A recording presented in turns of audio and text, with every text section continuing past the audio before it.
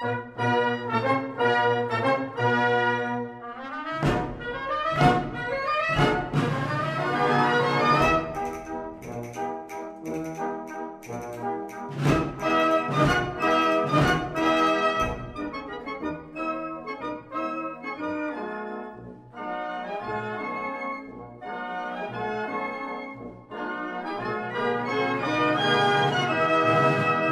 right, well, today we have another uh, album review for you, a newly released album. This is The Gilded Age, late 19th century for American Wind Band uh, by Newberry's Victorian Cornet Band that was just released uh, within the past few days. And uh, on the show to talk about it, we have Dr. Michael O'Connor. So, welcome back, uh, Dr. O'Connor, and congrats on the new release.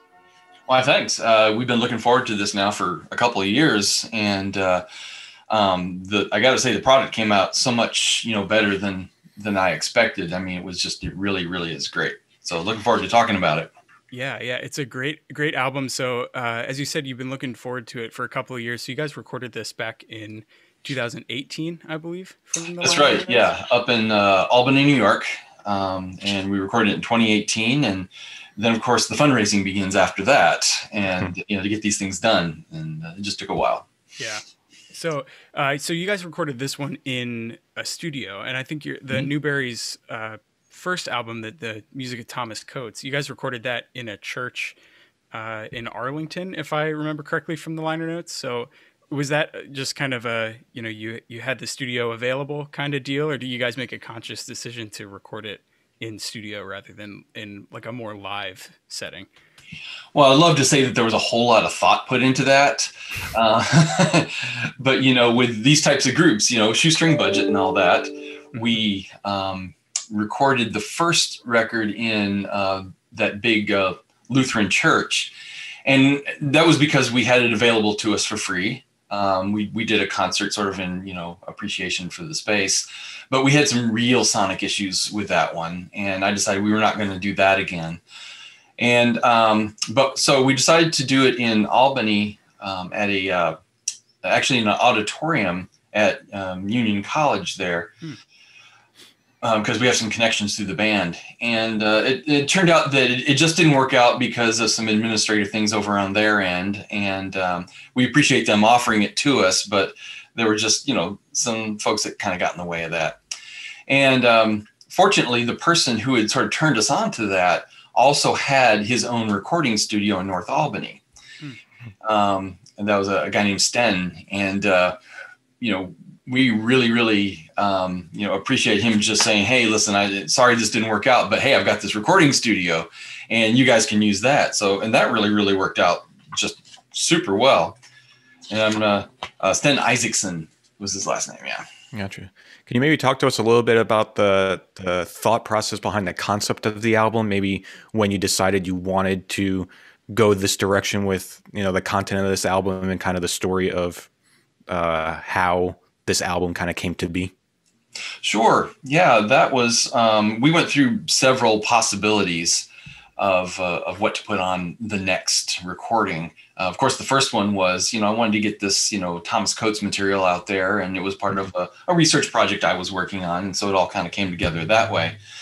But this next one, I really wanted to put together some of the pieces that we had been playing in concerts. Some of the things that we found were, you know, sort of the, the, the best of the repertoire that we had run across. And of course, a really wide variety too. This would be something that appealed to a lot more people than, say, just a you know CD of one composer, that sort of thing.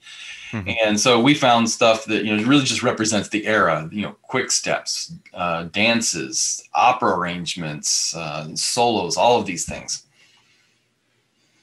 Very cool. So when uh, we had you on the show the first time, uh, I know we kind of talked about the history of Thomas Coates and the history of both of the bands that you run and all that kind of thing. But maybe for having it nice and condensed and all in one place for for this discussion, can you maybe very briefly discuss how Newberry's Victorian Cornet Band is maybe different from either brass bands before it or the full-on concert band, wind band tradition that came after it? Sure. Um, Newberry's kind of came out of, you know, my my original idea was to put together a Civil War band back in the early 2000s, and um, I, I realized that you know the expense of the instruments and you know uniform a little bit much. So I started looking around for okay, well maybe what comes after that? You know, maybe that might be a little bit more doable. And sure enough, I found all of this repertoire on the Library of Congress American Memory site. And um, this was all from about the 1870s through about the 1890s. I said, "Hey, this this looks great," you know. So I did some, you know, digging around to see what you know getting the instruments would be like, and mm-hmm. this was uh, the very early days of eBay, and um, these instruments were dirt cheap. Um, and part of that was because they were mass produced in the uh, the late 1800s, and so there's just a lot more of them, mm-hmm. and they look a little bit more like today's instruments. So you know, sort of the collectors of interesting, you know, items, you know, weren't part of who I was competing against. Mm-hmm. Um, so the you know the prices just were easy, even for me on a you know graduate salary. yeah, yeah, yeah. You know, so I accumulated a few of those. I got some you know some folks who were you know adventurous to try them out and you know, just over the years, we picked up, you know, better players, better instruments, and um, we finally got to the point where, hey, you know, let's let's record this group. You know, it sounds good. Yeah, and um, and that's kind of where we went from there. But the biggest thing was I noticed that no one, I mean, literally no one was performing and recording this music, and I thought, mm-hmm. well, that's a great place to jump in because there's literally no competition. Yeah. You know, and, and and nobody, you know, to be compared against yet, other than you know, our own professional standards.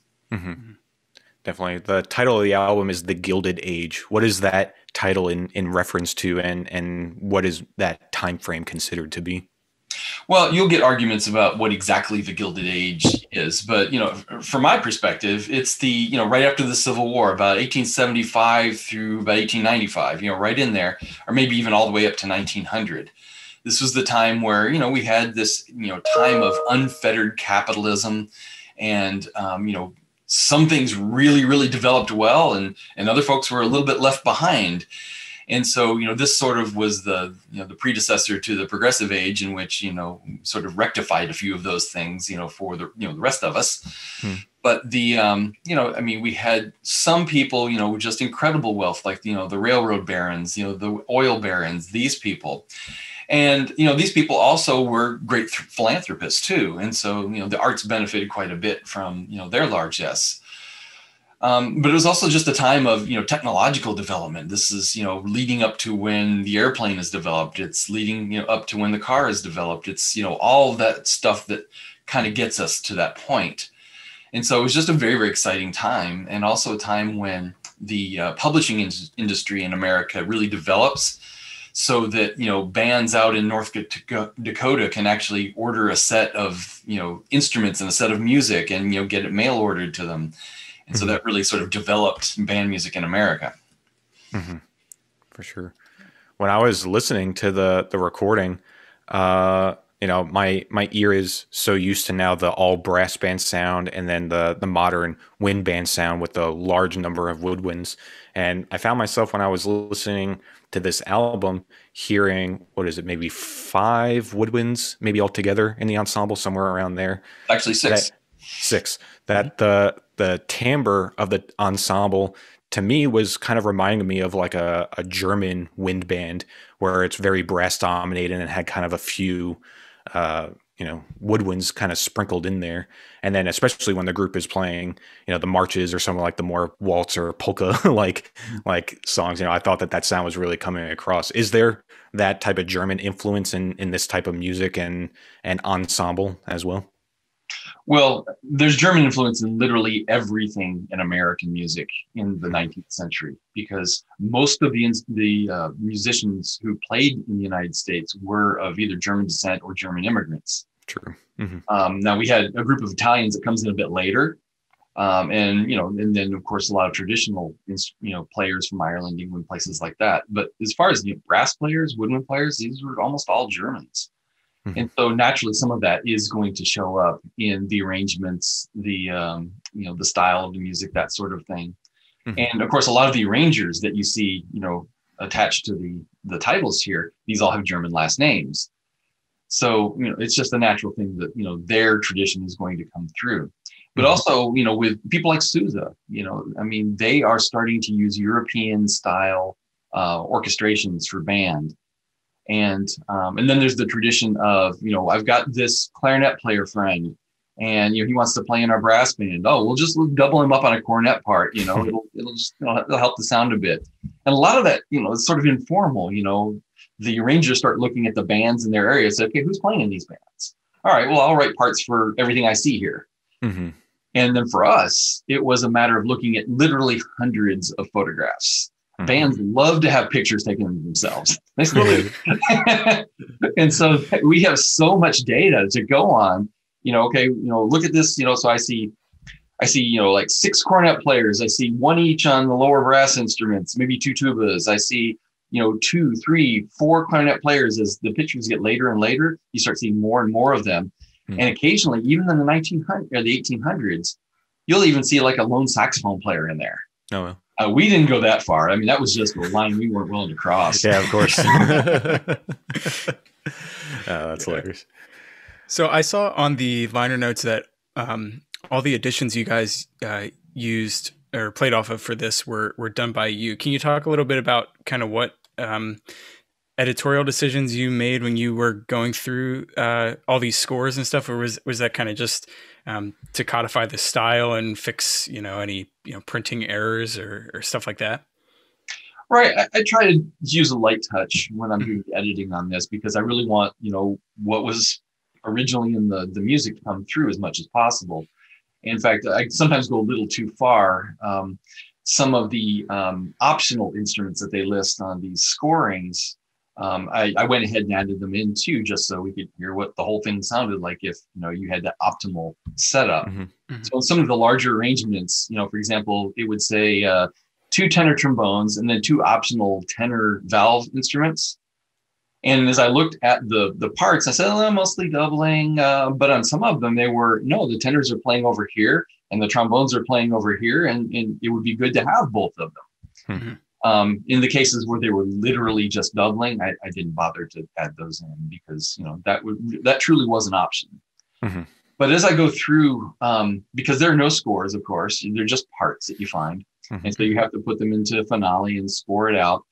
And then you realize on most of these things, and I think it was just this joke that the period uh, um, arrangers were doing on later editors, in which they would take a, a certain section and uh, half the band is playing piano and the other half the band's playing forte. you know, so and you know it's obviously not supposed to be that way, but they're just saying, okay, you know, 21st century editor, you make the decision here. yeah. Right. So there was a lot of coin flipping involved in some of these decisions, you know. Um, mm-hmm. And actually, I, you take a look. Some of them are obvious, but some of them are like, all right, is it mezzo forte or is it forte? Hmm. Uh, okay, well, yeah, yeah. you just kind of figure, okay, you know, what's going to work the best here, and um, articulation the same way. Um, I literally see sections in the same section, like in the cornet section, where one guy is playing a section slurred and another one's playing it's all accented. Hmm. And I'm thinking, okay, was there, there was there no quality control whatsoever? Yeah. um, and apparently the you know that question answers itself. Right. But um, yeah, so you just kind of you, you, make a decision here and there, decide, okay, I, you know, this, this is a lyrical section, so no, we're not going to accent these notes. yeah, yeah. So I was able to listen to this album a number of times, and I think in the middle of my first listening, I think I sent you a message, Dr. O'Connor, and I was like, this is real premiere playing and a real example of, you know, this style of music and this type of ensemble at like its highest, most proficient form. And I think the the playing and the the mixing and the arranging and the playing, all this stuff is super fantastic on this recording. Um, I was wondering maybe it would be nice, maybe we can go around and each uh, select maybe uh, our favorite or our a notable recording on the album. Uh, and I'll go first. I thought that the the first track on the album, uh, written by Gilmore, mm-hmm. Uh, titled "Hang on." I always forget the name because it's so un- it's so uncommon. Salute to New York March.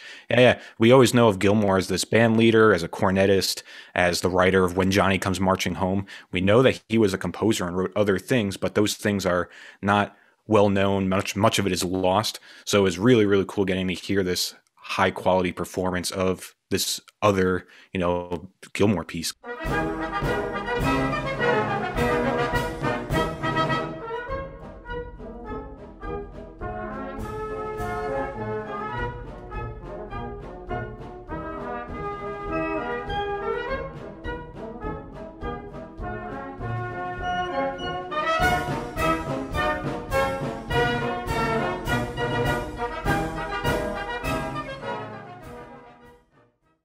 Can you maybe talk a little bit about the the march salute to New York march? Right. Um, I wanted to include a Gilmore piece on here because he was really the. I mean, it's not going too far to say he was the preeminent musician in the United States in you know the 1870s and, and early 1880s. Um, his band, um, if you just look at it from a popularity standpoint, was at least as big as the Sousa band, who was later, um, and maybe not even more famous. Hmm. I mean, he was just absolutely huge. Um, you know, when he traveled around, I mean, he just had giant crowds coming out to hear him play. Mm-hmm. Um, now, as far as his his compositions go, there are very very few band compositions with his name on it. Mm-hmm. Now, I, I know he did some arrangements under a pseudonym. We're not exactly sure what that pseudonym was. Hmm. But he also had an arranger in the band who was fantastic, and gotcha. he did most of the stuff for uh, uh, for Gilmore's band. Um, so yeah, when you find a, a, an actual Gilmore piece that's not like from the 1840s or 1850s, um, mm-hmm. yeah, you go ahead and do it. Yeah, I found only one other recording of this, and it was the Marine Band doing it, and they do a super job with it. Mm-hmm. Um, so we can say ours is the first period performance, and and I appreciate your your your compliments on the playing. Um, it's just that one's a little bit tricky to put together because um, there's really all of the sections are kind of exposed in it. Mm-hmm. There's not a lot of glue that holds it together. I think you know what I mean by that. Mm-hmm. Yeah, yeah, for sure. And um, and so everybody has to really be on their game to make that one work. Mm-hmm. Um, and it's just you know Gilmore was not you know a top band arranger himself. You know, for so sure. yeah. Um, you know he, his his skill was in marketing more than anything Gotcha. And um, and of course leading the band. He was a good musician, of course. Mm-hmm. And um, and so um, there's uh, there are people doing research on Gilmore now who could probably talk a lot more about it than I can. But um, yeah, we really wanted to include something by Gilmore on there. Awesome. Yeah. Stephen, you have a, a favorite or standout track from the album? Uh, yeah. Well, well. First, I mean, I want to echo everything that Chris said about the playing on the album. It is, it is fantastic, and it's got really kind of that like a nostalgic sound for me. Uh, it it um it reminds me, and maybe we can talk about it later. But the structure of the album really kind of does remind me of some of the community band concerts that I've played and like how it's structured, you know, where you start with a march, you have an overture kind of towards the top, and then your solos are sprinkled throughout, you know, the the rest of the program, and then you end, you know, with the big, uh, you know, transcription of some kind, which is exactly kind of how the album's structured. But um, yeah, fantastic playing, and for me, uh, the the soloists on this album all are phenomenal, but I'm gonna go with the first soloist that appears on the album. Well, you picked mine, man. oh yeah, no, I was I was worried about that, but uh, but yeah, so so Dominic Giardino, his he he's the clarinet soloist on the third track, the Fantasia La Sonnambula. Oh wow, I'm gonna try that again. Fantasia La Sonnambula. I'm terrible with with languages, but um, the playing there, you know, both the solo and the ensemble playing really gels uh, well on that. All the solos, but that one in particular, I really enjoyed.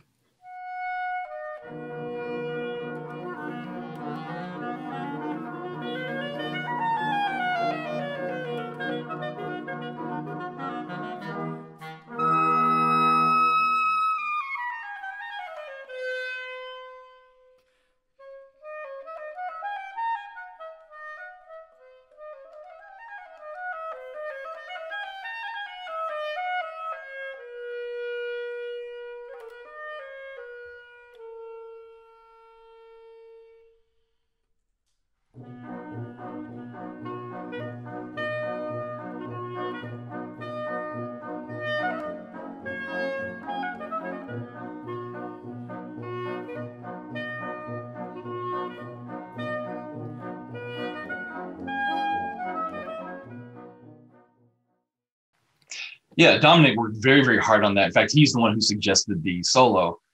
And um, when he came in to uh, play it for the recording, I mean, literally, you could hear everyone's jaws hit the floor. Um, we, I mean, we knew Dominic was good. I, the thing is, most of us have known him since he was in high school, you know, hmm. down in Key West, and that's where we first met him.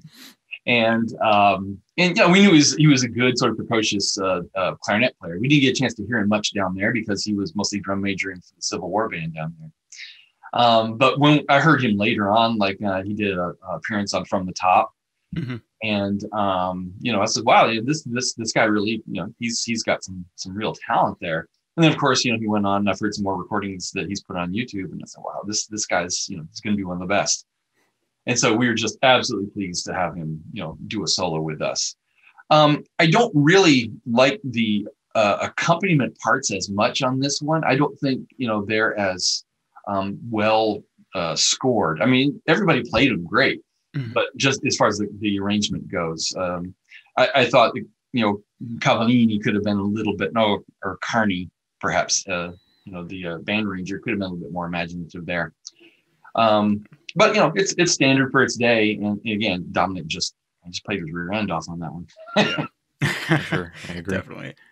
Do you have any particular uh, piece that kind of stands out to you, Dr. O'Connor, from the recording? Either maybe like kind of stepping back and seeing it all in hand, able to hold it all in your hand in the recording, or maybe like a memory from when you were actually recording. Any anything stand out? Well, I'm going to do the usual uh, dodge and, and say that there are several on here that that um, I'm particularly proud of. And number one, of course, is the one that we just mentioned, the La Sonnambula, um, the Bellini that that um, that Dominic did. That's the one I really like listening to because I, I, like listening to him play on that. And I'm just thinking, wow, this really makes this record go from you know this group of really fine professionals, you know, playing you know this this old music to hey, this is something we could play on public radio. You know, this is this is something we, you know, mm-hmm. that would be proud to say, hey, that's us. You know. Mm-hmm. Yeah. Um, I really like the um, oh gosh, what's the other one? Um, you know, for me, I think Semper Fidelis.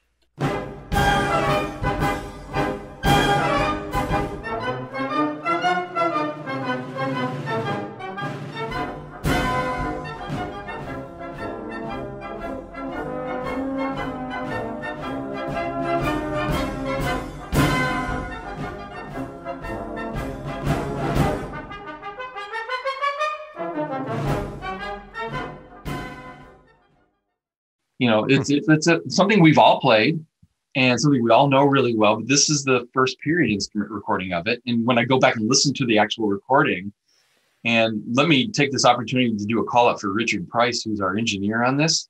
Um, the guy is an absolute magician. Uh, you know, he has golden ears, and you know, he would stop us, you know, all the time and say, he had a wonderful way of putting it too. He says, "You know, I don't think you're going to love that last one." You know, I feel like working with a guy like that, you know? Yeah, yeah, yeah. you know what he meant. right. He's saving and, you time. He's saving you time.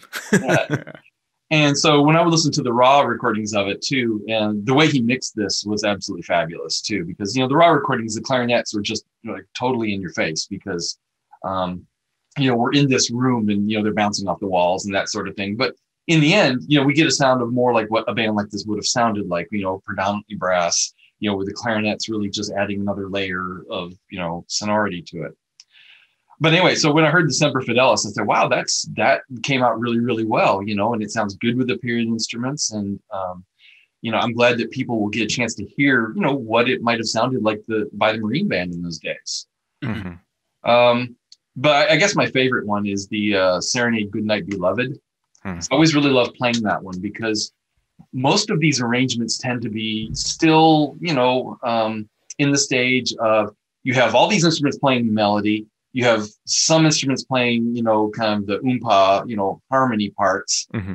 Um, but this one gave us a chance to really play in a very sort of uh, chorale style.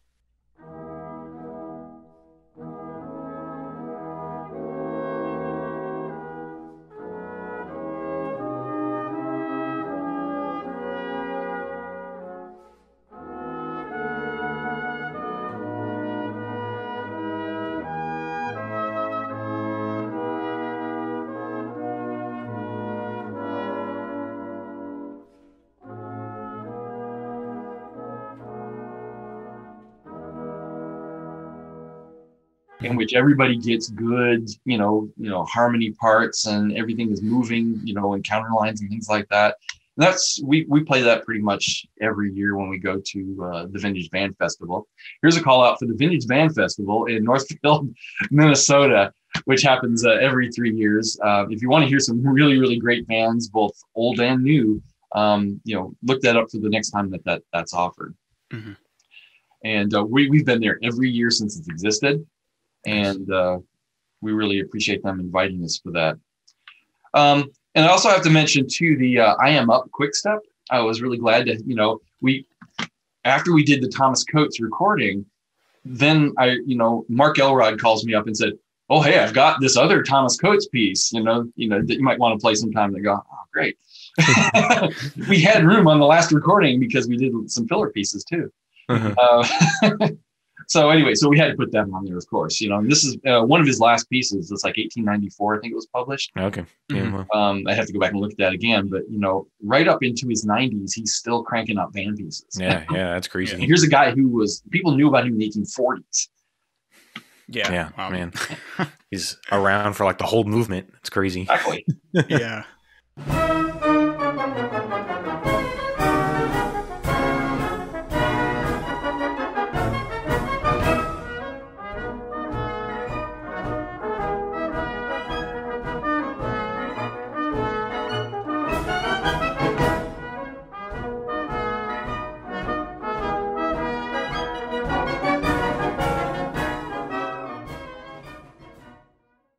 fact, I was just uh, was listening to a radio broadcast the other day when they were talking about um, it was uh, Jack Benny's uh, birthday, and he was born in 1895. And I thought, wow, Jack Benny and Thomas Coates lived at the same time for one year.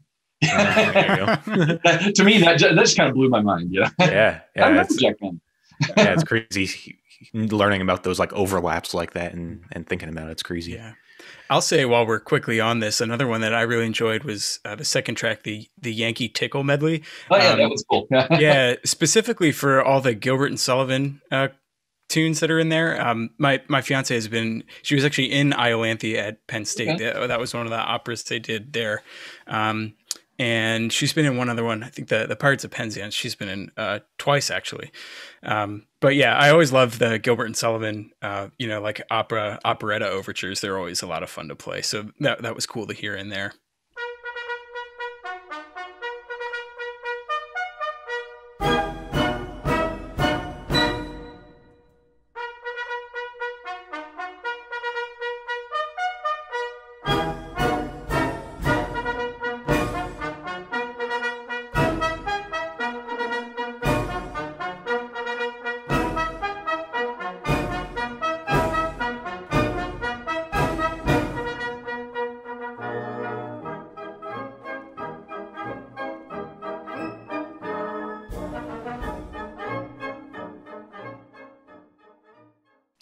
Yeah, and for me, the I got that one out thinking, okay, Yankee Tickle, that's going to be, it's going to have some patriotic stuff in there. It's going to maybe some, you know, local color, New England sort of things.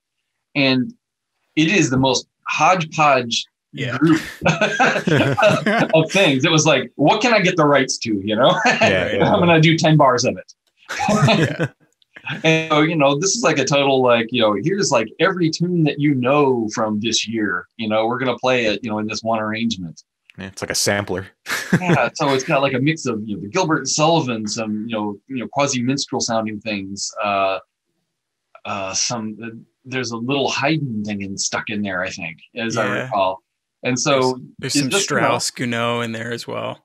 To do, you know, uh, because you know it's like you know, hey, if you don't like this thing, just wait two seconds. You're going to go on to something else. yeah. Kind of Man, that's crazy. Yeah, and then uh, you know, all all the soloists, you know, on this recording were fantastic. You know, we I know that we already were able to spend some time with uh with Dominic, but then you know we also have Christine Erlander Beard and Don Johnson the third playing uh, on this recording. Also, I know with the uh, the Battle Cry of Freedom uh, solo variations, you know, we always see that piece, you know, kind of pop up on on all these early band uh, recordings. So it was really nice to hear a solo, a theme and variation, a completely different arrangement than we're used to hearing on this recording. So I, that was a nice little surprise. Again, seeing it, the track title as I'm going through listening and it's getting closer and closer. And then when it finally showed up, it was completely different from what I expected, which was awesome.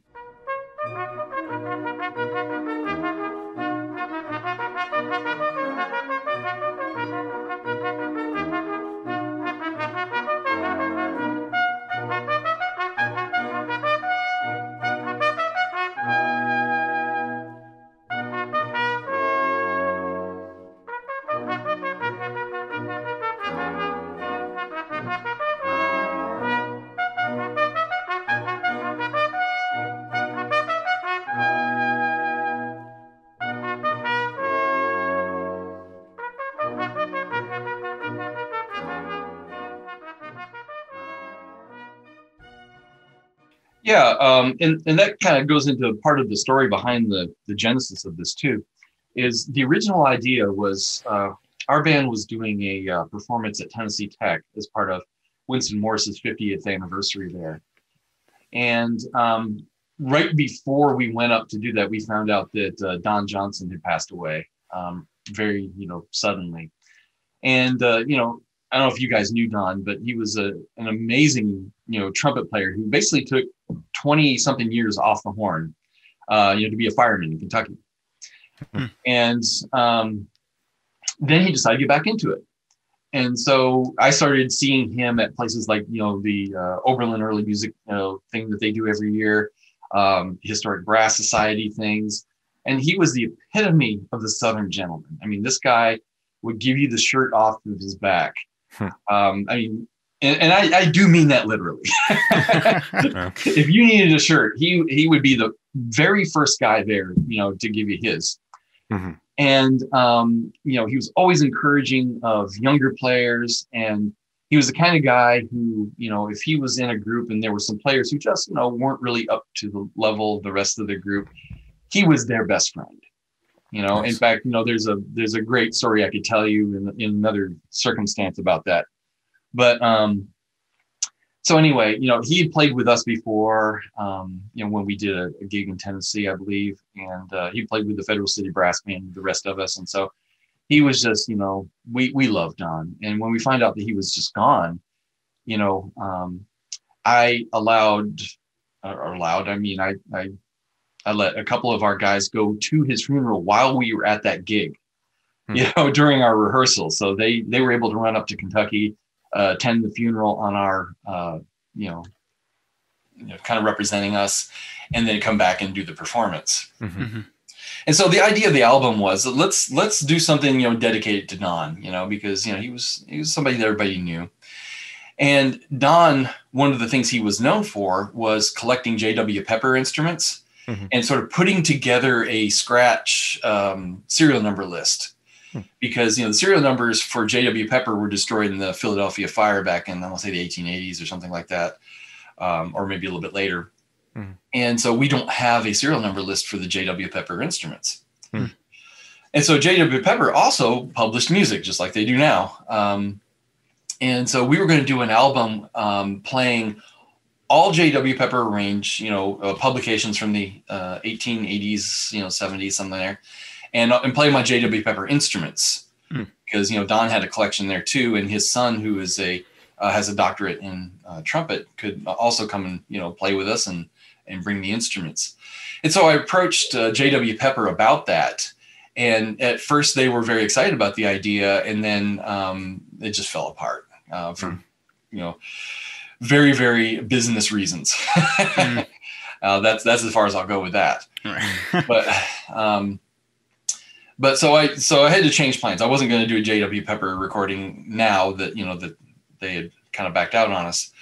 And so I decided to uh, do one that you know had this wide variety of the stuff that we've been playing, like I, I, mentioned before. But I still wanted to do at least one track, you know, to honor Don. Mm-hmm. And so I found this arrangement of Battle Cry of Freedom because he was a big, you know, fan of playing Civil War instruments. And um, and of course he had the instrument and he had, you know, a son very capable of playing, you know, a very fine solo. So I would bring him in, you know, play this in, in honor of his dad. Yeah, yeah. it's beautiful. And like I said, it's it's just such a fun piece. Also, I'm really glad you guys included. It's not that easy. That that is a very very difficult one to play. Yeah, mm-hmm, I bet. And so, um, but while we're on the topic, let me also bring up uh, Christy Beard, one of my favorite people in the world. I mean, mm-hmm. Christy is just, she is just an absolute delight. Uh, she and her husband, uh, Michael, both play in the band.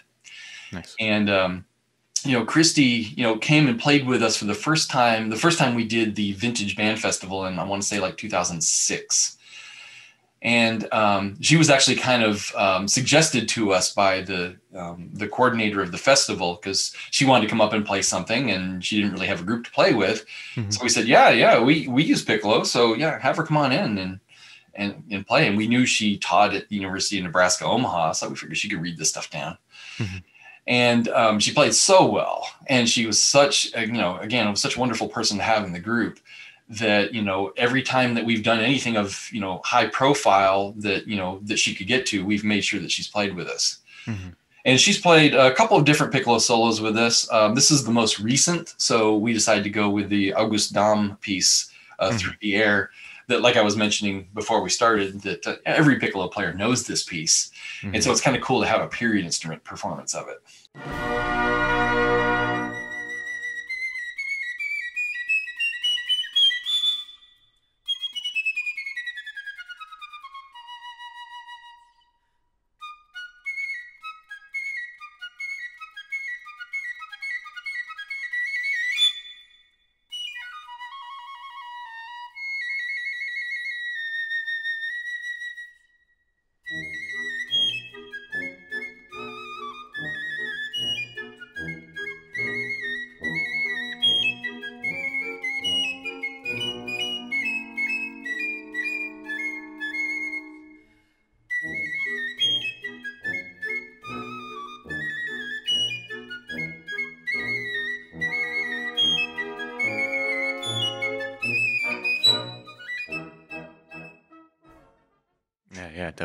And she just, you know, like always, just just really killed it.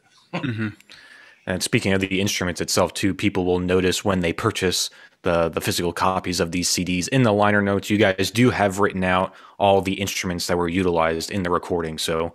Uh, you know, instrument buffs, they'll be able to kind of get their fill of the period instruments that were used on this on this recording by reading the liner notes. Right. Yeah. And mouthpieces. Right.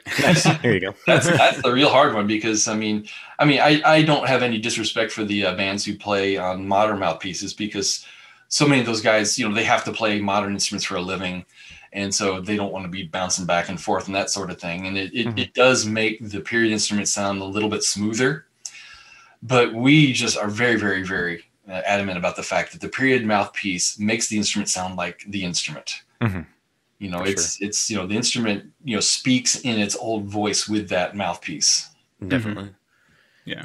Yeah, yeah. We we've had a number of guests on the show and and I think basically everybody that's in the the realm in that camp of period mouthpiece, you know, all echoes similar things. You know that the these instruments can be played obviously and are played on modern mouthpieces, and you know to great success you know good for for those groups but with the the period mouthpieces exactly what you were saying is especially intonation it seems like the the instrument wants to agree with your ear a little bit easier when you're when you're on the proper mouthpiece. Mm-hmm. yeah. I was gonna say modern piccolo is probably is squirrely enough so i can't imagine playing that on a on a period instrument. I don't know how they compare because i'm not you know well versed in in woodwind instruments but um yeah, I, w- I was super impressed by uh, by her playing as well on that on that solo. Yeah, Christy, um, she's not playing on a D flat instrument. Uh, she's playing on a C piccolo, but it is a C piccolo from the period. Mm-hmm. And so um, there's sometimes I don't have time to to transcribe the uh, music, so I have to hand her a D flat part. And she's playing a half step off of the music. And your piccolo parts, you know, they're not whole notes. No. so yeah, she's, yeah, yeah, yeah. she's amazing. Um, and so um, yeah, like so it is it is a period sound. It's just um, you know she's playing a, a C piccolo instead of a D flat. Yeah, and it's a very fine one too. I mean, she's had you know some of the best uh, you know woodwind uh, you know repair restorers had you know work on that little Rudall Carte instrument. Mm-hmm. Yeah. Neat. So before we we steer listeners to where they can purchase the recording, now obviously it'll be printed, you know, in the the description and stuff of this release. But are there any other any final thoughts or observations or or anything that you wanted to bring up about the album, Dr. O'Connor? I just like to say for for anybody out there, and, and I know a lot of um, you know period players listen to these these podcasts. At least if they don't, they should. Thank you. Uh, you know, um, the recording process is a process, and I'm not talking about just you know the days you go in and do the recording. I'm talking about you make your first recording, you make your second, you make your third, and and during each of those processes, you learn a ton about you know that process, and especially with these instruments. I mean, uh, you may be someone who, uh, you know, who has performed, you know, uh, on recordings in studios like for jazz or for commercial stuff. but coming in and playing these instruments, you know, and doing it in a live situation, it's a very, very different thing. And so we've learned an awful lot. And by the time we've gotten to this recording, which I think I feel like for most of this, we've kind of gotten to the point where, hey, I feel like we know how to do this now. and the sound actually says that, you know, rather than just, you know, me kind of imagining it. but you know, like this is a recording, you know, if I got from somebody, I I would be impressed by it too. You know, and I and I think all of us, you know, we're all very critical about our own playing and our own recording and that sort of thing. And you know, you talk to, you know, these people who've been recording forever and they'll talk to the same things. I don't listen to my own recordings, you know, you know that sort of thing. Um, you know, this one I'll put in the CD and I'll enjoy it. Yeah, yeah, it's this this recording. You know, not that it's not necessarily the case even with your guys' first recording or anything, but specifically and especially with this recording, it's definitely surpassed the uh, the threshold of like a novelty recording. You know, like you're definitely not doing it just as uh, you know a, a, little interesting thing to do and a chance for people to play these instruments that they've been collecting. No you guys like legitimately made fantastic beautiful entertaining music that you know it that uh extends beyond just you know the people that listen to this podcast. You know it it has a very wide appeal i think because of the quality of the playing of the arranging you know all these things together definitely came together definitely came together in this recording. I think it's pretty evident Right. And I think our, our next step in recording would be to try to record pieces that we've that we've played a lot just prior to actually doing the recording. Mm-hmm. Um, because of the nature of our group, we're spread out all over the country. Um, all, of these pieces we've played. I don't think I brought in anything that we had not performed live before, except for perhaps the Yankee Tickle medley. Um, we had not played that one live before. Um, but all these we've done at the Vintage Band Festival. And so you know, everybody came in familiar, but you know, it's not like coming, you know, stepping off of a tour bus and right into the recording studio, which I, to me is, is like the optimal way to do it. Mm-hmm. You know, so that you know you just have that whole musical concept, you know, just sort of ready to go. Um, you know, it took a little work, but I, I think in the end it, it, worked out pretty well. Yeah, yeah, definitely, totally cool. agree. So where uh, where can people go if they want to pick up a copy? And I strongly suggest that they do. it is a fantastic recording. So, um, where where's a good place to point people to if they want to pick one up? Um, I recommend going straight to the MSR Classics uh, website to get yours. Um, they're very efficient in sending out CDs, but also, um, you know, more of the money that you just spent will go to us and to an independent music label um, than going through Amazon. Amazon um, you'll eventually be able to get them there, of course. But um, you know, anybody who sold anything through Amazon, you know that you just don't make anything.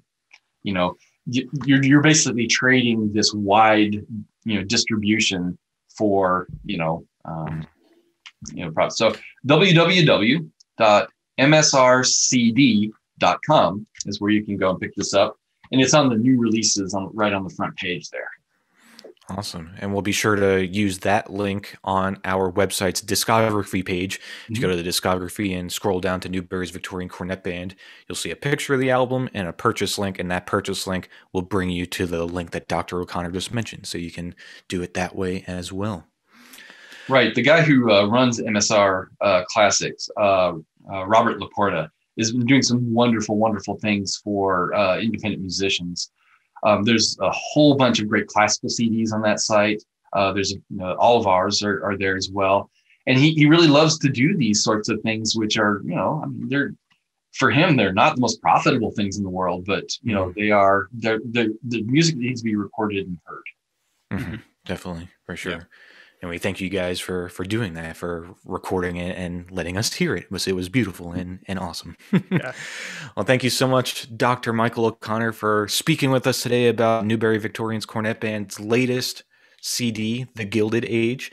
We highly encourage everybody to go check it out. Uh, again link will be included on our website and in the description of this release. And uh, thank you again so much Hey, it's always my pleasure, guys, and I hope to talk to you again really, really soon. You're doing great work here. Thank you so much.